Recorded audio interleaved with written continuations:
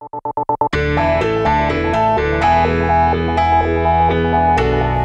of the most common things that women will tell me is they feel like they're not being heard. And when your husband's dating you, he seems to be attentive and focused in on you, and you think, this is the guy. But it is true that men communicate differently than women, and women frequently hope that they're going to have a man that's going to react the way their girlfriends react. The fact of the matter is, his brain works differently than yours. And it's hard for him to know what he's listening to when you're telling him long stories. My recommendation is if you have something important to tell him, make sure he knows right up front what the point of the story is, and then fill in the details later on.